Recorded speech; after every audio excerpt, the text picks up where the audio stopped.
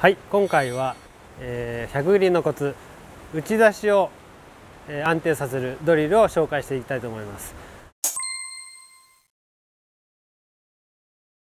えー、練習場に行くとですね、えー、どうしても大きくこう振りたいと思うんですがやっぱりそれだとあの自分がどういうふうな、えー、ミスな動きをしているかっていうのが分かりにくいと思います、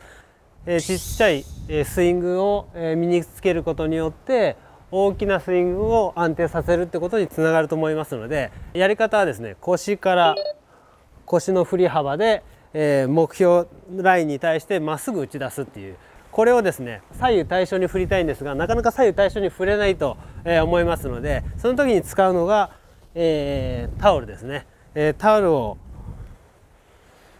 両脇に挟んでいただきます。両脇に挟んでいただいてえ正しいアドレスを取っていただくと。でハンドファーストをキープした状態で腰の高さぐらいですね。か肩の高さぐらいまで、え、振っていただく。でそのまんま左右対称に左に振っていただくと。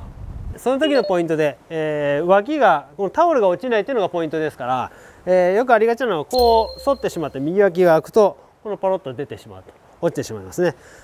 で大きく振りすぎても落ちてしまいますのでタオルを落とさない振り幅でしっかり両脇を締めた状態で左右対称にしっかり振って打ち出しが自分の目標方向に出てるかっていうのを必ず確認していただくと。インサイドからアウトに抜ける方なんかはあの目標より右に出ますし、アウトから入ってくる方は、え左に飛ぶということが分かります。そうすると方向性がかなり、えぐんとアップすると思うのでやってみてください。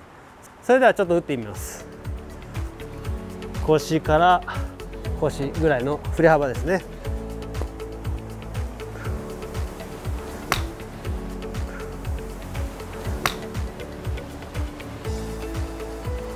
今のようにまっすぐ今打ち出せましたがしっかり締めた状態で